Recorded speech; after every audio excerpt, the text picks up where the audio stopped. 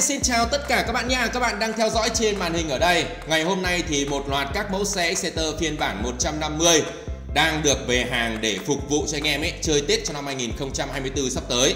Hiện tại thì dòng xe Exeter phiên bản 150 các bạn đang theo dõi trên màn hình ở đây vẫn đang được rất nhiều các bạn trẻ Việt Nam chúng ta quan tâm. Doanh số luôn luôn ổn định, thậm chí có những thời điểm còn nhỉnh hơn so với mẫu xe Exeter phiên bản 155 các bạn nha.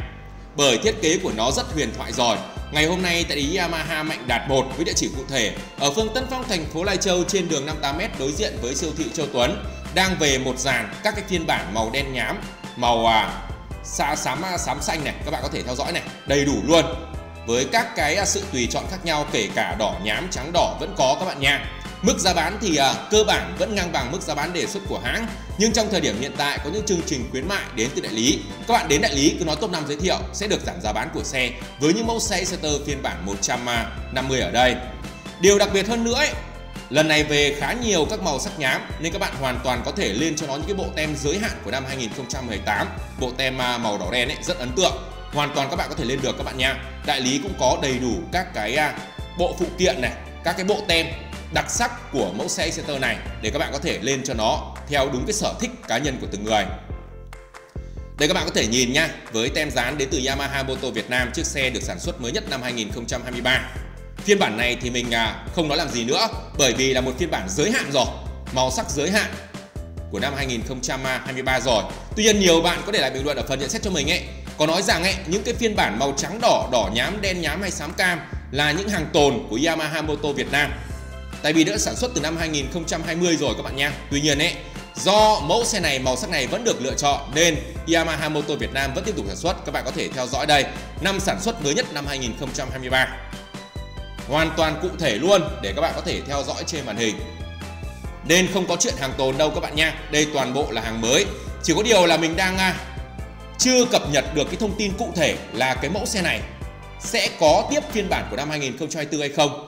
Mình thì mình vẫn đang hy vọng nếu như phiên bản này mà được cả lên hệ thống phanh chống bó cứng ABS cho bánh trước của xe thôi cũng được thì chắc chắn mẫu xe này sẽ rất đắt khách luôn bởi thiết kế của nó huyền thoại ok rồi. Đâu đó khối động cơ được nâng cấp lên đôi chút nên đôi chút các bạn nha để đem đến những trải nghiệm mới mẻ hơn. Hiện tại thì uh, Yamaha vẫn đang uh, hướng cái mẫu xe Exciter phiên bản 150 này là đối thủ cạnh tranh trực tiếp với các cái mẫu xe đến từ nhà Honda mà cụ thể luôn là dòng xe Honda Winner X chứ không à, hướng cái dòng xe Exciter phiên bản 155 phía sau kia đâu các bạn nha. Bởi các bạn biết rồi, Exciter 155 ấy, khối động cơ của nó mạnh mẽ hơn rất là nhiều. Trang bị cũng điển hình tiên tiến. Tuy nhiên thì cái lợi thế của những cái dòng xe như Exciter 150 ở đây là cái thiết kế của nó huyền thoại thôi.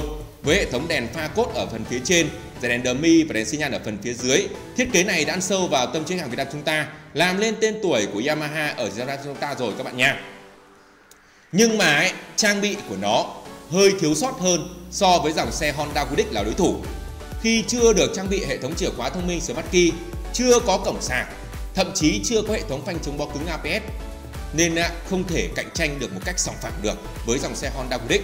Nên mình mong rằng ở phiên bản năm 2024 này, Yamaha sẽ nâng cấp lên bổ sung thêm những cái trang bị điển hình tiên tiến giống như những cái mẫu xe như là Exciter phiên bản 155 bởi những cái hệ thống như chìa khóa thông minh này rồi cổng sạc ấy có nâng giá lên một chút ít thôi cũng hoàn toàn ok còn hơn nữa có thêm hệ thống phanh trùng bó cứng ABS ấy thì chắc chắn cái dòng xe này thậm chí nó còn sẽ đắt khách hơn cả mẫu xe Exciter phiên bản 105 trong thời điểm hiện tại hiện hành các bạn nha.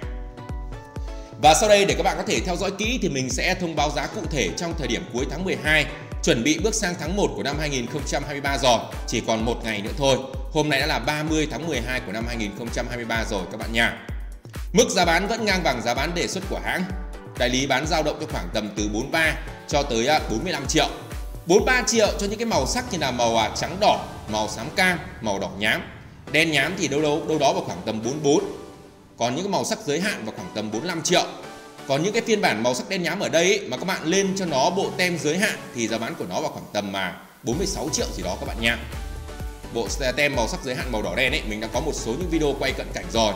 Kể cả bộ tem Monster Energy cho mẫu Exciter phiên bản 150 này các bạn hoàn toàn có thể lắp đặt lên luôn. Ok luôn các bạn nha, với dòng xe ở đây. Rất cụ thể và chi tiết. Với những bạn nào quan tâm đến trực tiếp đại lý để xem xe, ngày hôm nay thì về rất nhiều luôn. Đâu đó vào khoảng tầm hơn 30 chiếc. Exciter với à, các phiên bản mà chủ yếu màu đen nhám là nhiều. Mình thấy rằng cái màu đen nhám này anh em lựa chọn khá nhiều. Dù biết rằng ấy các bạn đi mà đường à, mưa một chút, bùn bẩn một chút thì nó sẽ không được sạch sẽ cho lắm. Tuy nhiên thì bạn nào ấy mà về rồi à lau chùi bảo quản vệ sinh sạch sẽ thì mẫu xe phiên bản màu đen nhám ấy luôn luôn là một màu sắc đặc biệt và là màu sắc đẹp nhất các bạn nha. Đây các bạn có thể nhìn lại với tem dán năng lượng của nó này, tem dán à, của Yamaha Moto Việt Nam. Trọng lượng 117 cân, dung tích xi lanh 149,8 cc. À, đầy đủ luôn. Các nội dung, các màu sắc, các phiên bản để các bạn có thể thoải mái lựa chọn trong thời điểm hiện tại. Hoặc các bạn có thể thông qua số điện thoại của anh Mạnh ấy là giám đốc lý số điện thoại 0983 15422 sẽ anh tư vấn cụ thể về các dòng xe Exciter phiên bản 150 này, kể cả các phiên bản mới các bạn nha. Năm 2024 vẫn đang còn hàng để các bạn có thể thoải mái lựa chọn. Đây các bạn có thể nhìn cận cảnh lại một lần nữa với phiên bản màu à, trắng đỏ. Nhiều bạn cứ hỏi mình là tại sao vẫn còn màu sắc trắng đỏ, liệu có phải hàng tồn hay không thì không các bạn nha. Những cái màu sắc được à, lựa chọn nhiều, được mua nhiều thì à, Yamaha Motor Việt Nam họ sẽ giữ lại và tiếp tục được sản xuất trong năm 2023. Và chúng ta cùng nhau chờ đợi chờ đón xem năm 2024 này Yamaha sẽ làm gì với dòng xe Exciter phiên bản 150 ở đây.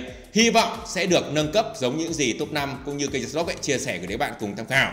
Và đó toàn bộ nội dung thông qua video ngày hôm nay. Mình đã chia sẻ nhanh để các bạn cùng tham khảo về dòng xe Exciter phiên bản 150 này rồi. Các dõi này của mình, nếu các bạn nhận like, chia sẻ, đăng ký nhiều hơn nữa để ủng hộ kênh Giả Sơ các bạn nha. Xin chào và hẹn các bạn ở những video tiếp theo.